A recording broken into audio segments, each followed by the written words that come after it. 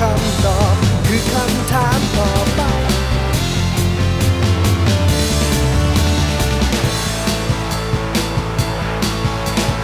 ตอนนี้ผมเข้ามายืนอยู่ในยุ้งเก็บเกลือแล้วนะครับ ยังจำกันได้นะครับ หลังจากที่รื้อเกลือขึ้นมาจากนา ก็จะมากองไว้ข้างๆ นาเกลือ แล้วก็มีการวัดปริมาตรกันนะครับ ไม่ได้ขายกันเป็นกิโล แต่เกลือบางส่วนที่ยังไม่ขายนั่นจะเอาเข้ามาเก็บไว้ในยุ้งอย่างนี้นะครับ รอให้พ่อค้าเกลือมาซื้อ รู้สึกว่าวันนี้คุณลุงสมุทรนัดกับพ่อค้าซื้อเกลือไว้นะครับ ที่จะมารับซื้อเกลือในช่วงเช้าวันนี้ครับ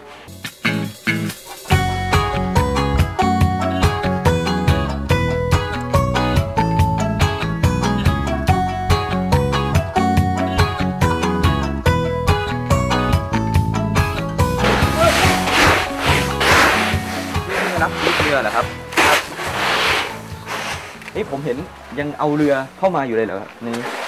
อันนี้ต้องใช้เรือเพราะรถเข้าไม่ได้ใช่เลยแสดงว่าแถวนี้นาเกลือนี่ยังยังติดริมคลองไปเรื่อยๆเลยนะครับถ้าเกลืออย่างนี้พี่อ้วนตกลงราคาเท่าไหร่ อันนี้ถ้านั่นเขาเป็นพันอะเปลี่ยนละหนึ่งพัน อันนี้เกวียนละหนึ่งพันเราก็คุยกันครับถ้าเขายอมก็คือตกลงโอเคถ้าไม่ยอมก็เราก็ถ้าเราเขาถ้าคือเขาสวยเราก็สู้ราคาเข้าไป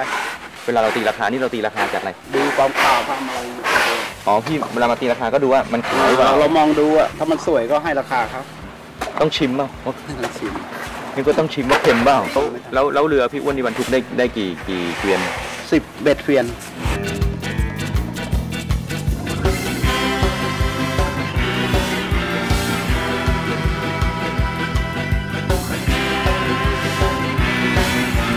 พี่อ้วนนี่เสร็จแล้วนะครับ เสร็จแล้วเสร็จแล้วอ๋อนี่เวลาเสร็จนี่ก็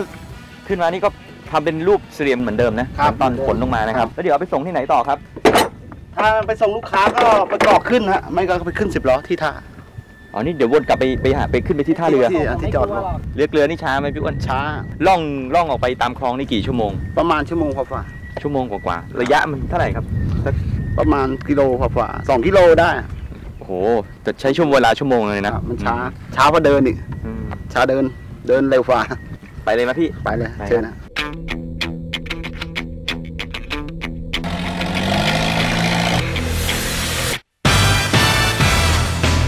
นี่กว่า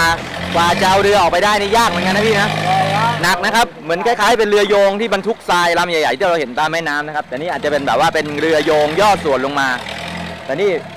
นี่พอใส่เกลือไปปุ๊บปริ่มน้ำเลยนะครับ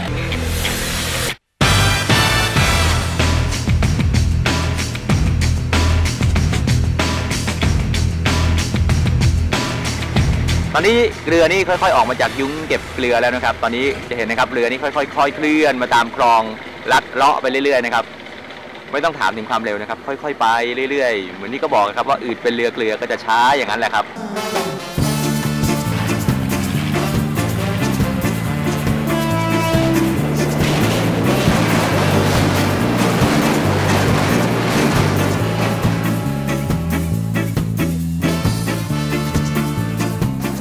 กโกดังหนึ่งค่ะ เก็บเกลือสำหรับบริโภคค่ะข้างในนี้จะเห็นว่าเป็นจะแตกต่างจากโกดังเมื่อสักครู่นะคะ ที่เป็นเกลืออุตสาหกรรมข้างในจะเป็นโกดังที่เก็บเกลือแต่ว่าบรรจุอยู่ในถุงค่ะ ที่เห็นด้านนี้จะเป็นกระสอบใหญ่ ๆ เลยนะคะ ส่วนด้านในก็จะเป็นเกลือถุงเล็ก ๆ อยู่ค่ะ เดี๋ยวไปคุยกับเจ้าหน้าที่เขาดีกว่าวันวันๆหนึ่งเฉพาะเกลือบริโภคเนี่ยที่ขายส่ง ปริมาณเท่าไหร่คะเอ่อต่อต่อเดือนนี่ประมาณ 35,000 ตันสามหมื่นห้าพันตัน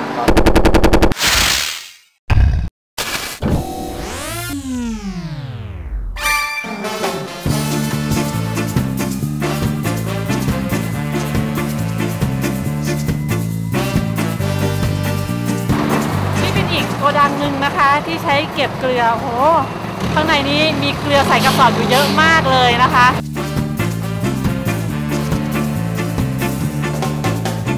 นนี้ก็คือเป็นโกดังที่เก็บสต็อกสินค้าของเรานะครับผมค่ะก็คือสต็อกอ่าในโกดังนี้จะเก็บสต็อกประมาณ 2,500 ตัน 2,500 ตัน ครับผม นี่เป็นเกลือเกลืออะไรคะ อันนี้เกลือส่วนใหญ่เป็นอุตสาหกรรมครับผม ไม่ได้ใช้บริโภคอาหารใช่ ในโซนนี้จะไม่ใช่ฮะอ๋อ คืออุตสาหกรรมนี่ก็จะมีที่ที่เป็นกองภูเขา ครับผม อันนั้นที่ที่ แล้วจะแตกต่างกับเกลือใส่กระสอบอ่ายังไงก็คือคะจะแยกลูกค้าไงฮะและแยกคิวกันนี่เกลือนี่เขาเอาไปใช้อุตสาหกรรมอะไรบ้างคะอย่างสีส้มเนี้ยค่ะอ่าเขาเป็นอาหารโคสแน็คพวกขนมต่างอ๋อขนมที่มีรสเค็มๆที่เรากินก็ ใช่ใช่ใช่ฮะสีส้มเนี่ยใช่ใช่ฮะค่ะก็มีในส่วนของพวกเอ่อมาม่าก็เหมือนกันมาม่าจะมีมีสำเร็จรูป ใช่ฮะเป็นส่วนสีนี้น้ำตาลล่ะคะสีน้ำตาลเนี่ยเป็นอันนี้ประเภทของเอ่อเอ่อเค้กขโคนมเบเกอรี่ค้กต่างๆนี่ก็เป็นของอาหารสัตว์อา หารสัตว์ครับผม ใส่เกลือด้วยครับ ทำไมอาหารสัตว์ต้องใส่เกลือล่ะอ่าคะ มันมีอ่าก็คือในเกลือมันเป็นตัวช่วยย่อย ในห้องนี้ก็จะมีอาหารสัตว์ ขนมเบเกอรี่บะหมี่กึ่งสำเร็จรูป ใช่ใช่ฮะใช่ใช่ครับ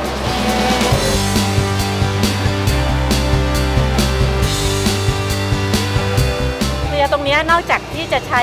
บริโภคแล้วใช้ผสมอาหารแล้วเนี่ยเขาเอาไปทำอย่างอื่นด้วยไหมคะ ครับผม ก็คือลูกค้าของเราแต่ละเจ้าเขาก็จะมาลักษณะ คือส่งออเดอร์มาค่ะนะครับ ก็จะมีแจ้งความต้องการว่าให้ส่งไปที่ไหนนะครับก็ส่วนใหญ่ก็ลูกค้าของเราต้องการที่มานี่ก็คือจะเป็นส่วนใหญ่ก็เป็นห้องเย็นนะฮะเขาเป็นใช้เป็นแช่นะครับใช้ทำอะไรในห้องเย็นคะเกลือที่เอาไปเนี่ยเขาค่ะ จะไปแช่นะฮะไปแช่อ่าอาหารของเขานะฮะ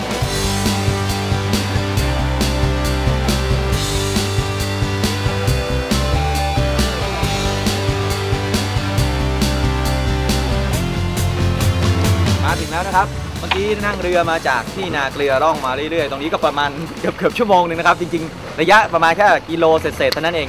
เดี๋ยวตอนนี้จากนี้ไปก็คงจะต้องเอาเกลือลงจากเรือนะครับเรือเดี๋ยวก็คงจะลำเลียงเกลือไปส่งพ่อค้าคนกลางต่อไปครับ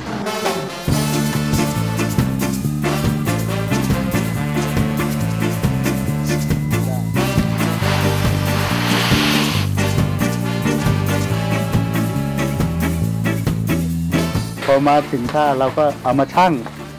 มาชั่งเหรอเอามาชั่งอ๋อแล้วชั่งเป็นถุงไปเพื่อไปส่งที่โรงงานเนี่ยเขาจะซื้อเป็นตันเป็นกิโลเงี้ยครับอ๋อ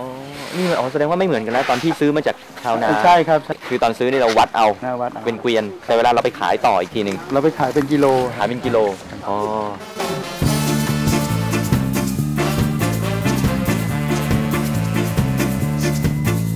พี่แล้วเกลือพี่ไปขายที่ไหนบ้างเกลือของพี่น้อยเนี่ยแล้วก็ตามโรงงานนะฮะโรงงานแถวมหาชัยเอามีโรงงานอะไรบ้างครับเขาทำอะไรบ้างทำพวกปลาหมึก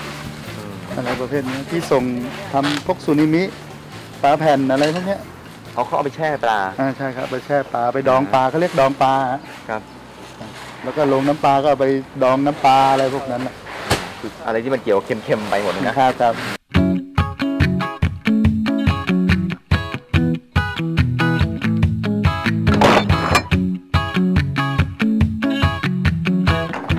แล้วเหรอครับพี่ เสร็จแล้วครับ จะไปไหนต่อครับ ส่งเกลือมหาชัยฮะ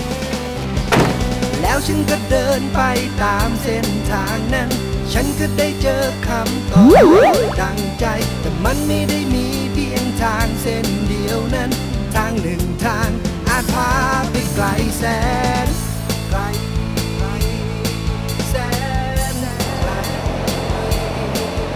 และในที่สุดนะครับเส้นทางของสองความเค็มคือเกลือสินเทาและเกลือสมุทรนั้น ก็มาบรรจบกันที่นี่นะครับที่สินชัยห้องเย็นในจังหวัดสมุทรสาครครับค่ะที่นี่นะคะเป็นโรงงานทำน้ำแข็งนะคะ แล้วก็น้ำแข็งจากที่นี่ก็จะถูกส่งไปตามที่ต่างๆ เพื่อแช่เย็นอาหารทะเลค่ะ ถ้าคนทำนาเกลือบอกว่าธุรกิจของการทำเกลือนั้นเป็นเรื่องของการปั้นน้ำเป็นตัว คือปั้นน้ำ จากน้ำเค็มให้กลายเป็นเม็ดเกลือนะครับ ตอนนี้เกลือก็มาทำหน้าที่ในการสนับสนุนธุรกิจเกี่ยวกับการปั้นน้ำเป็นตัวเช่นเดียวกันนะครับ นั่นก็คือมาช่วยในการทำน้ำแข็งครับ ค่ะ แล้วที่นี่นะคะเราก็จะได้พบกับเกลือสมุทรแล้วก็เกลือสินเทา แล้วก็จะได้รู้ว่าระหว่างสองเกลือนั้นมีหน้าที่แตกต่างกันอย่างไรค่ะ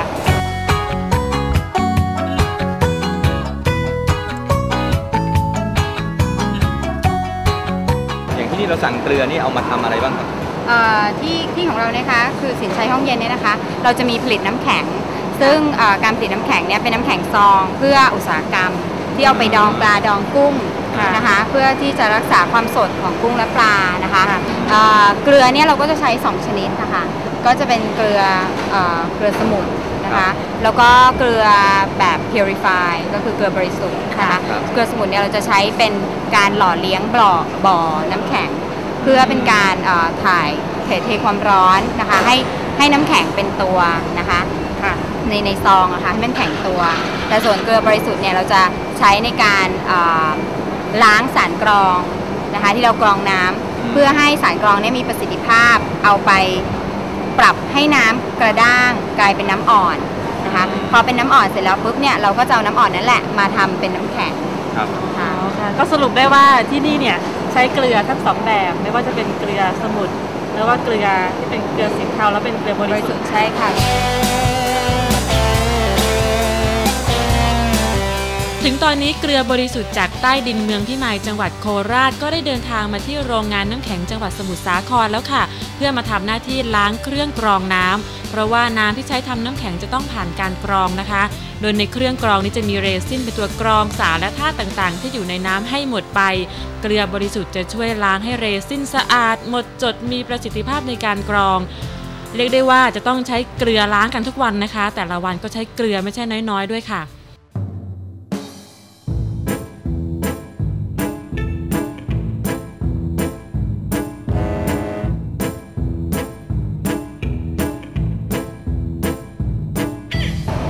ตอนนี้เรารู้แล้วนะครับว่าเกลือบริสุทธิ์นั้นเข้ามามีส่วนช่วยในการกรองนะครับทำให้ได้น้ำที่ใสสะอาดเพื่อจะได้เอามามาทำน้ำแข็งนะครับ ค่ะ เดี๋ยวอีกสักครู่นะคะ เราก็คงทราบเหมือนกันว่าเกลือสมุนนั้นมีหน้าที่อะไรแล้วเกี่ยวอะไรกับการทำน้ำแข็งค่ะ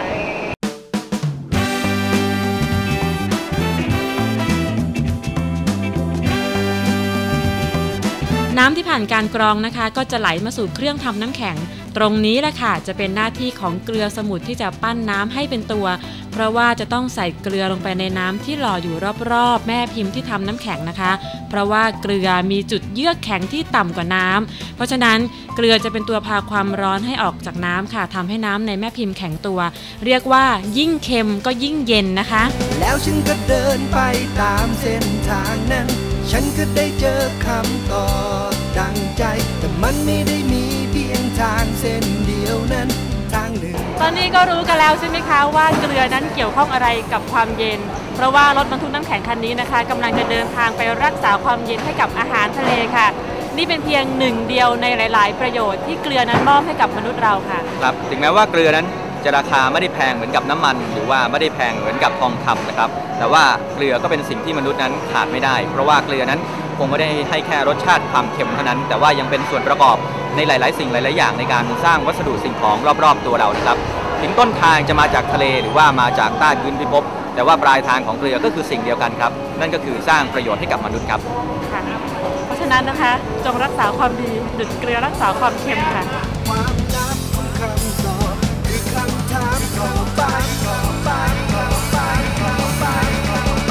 เกลือบริสุทธิ์นั้นมีการผลิตกันเป็นอุตสาหกรรมขนาดใหญ่นะครับ มีการขายการจำหน่ายกันตลอดทั้งปี แต่ว่าเกลือสมุทรนั้นยังคงรูปแบบการผลิตโดยอาศัยธรรมชาติ อาศัยภูมิปัญญาแบบดั้งเดิมนะครับ เพราะฉะนั้นชีวิตของชาวนาเกลือก็แทบจะไม่แตกต่างอะไรจากคนปลูกข้าว ที่ต้องแขวนชีวิตไว้กับความไม่แน่นอนของราคาเกลือที่เกิดขึ้นในแต่ละปี มีหนำซ้ำพื้นที่ในการผลิตเกลือสมุทรนั้นก็ลดน้อยถอยลงไปทุกปีนะครับ เพราะว่าพื้นที่ส่วนใหญ่ถูกแปรสภาพไปเป็นโรงงานอุตสาหกรรมกันหมด เพราะฉะนั้น ความรู้ความเข้าใจที่เราเคยเข้าใจว่าเกลือมี 2 ประเภทนั้น ไม่แน่นะครับว่าอนาคตอาจจะไม่คงไว้เช่นเดิมครับ ทุกๆเช้าที่คุณได้อ่านหนังสือพิมพ์เป็นอาหารเช้า รู้หรือไม่ตัวอักษรและภาพข่าวมาจากไหน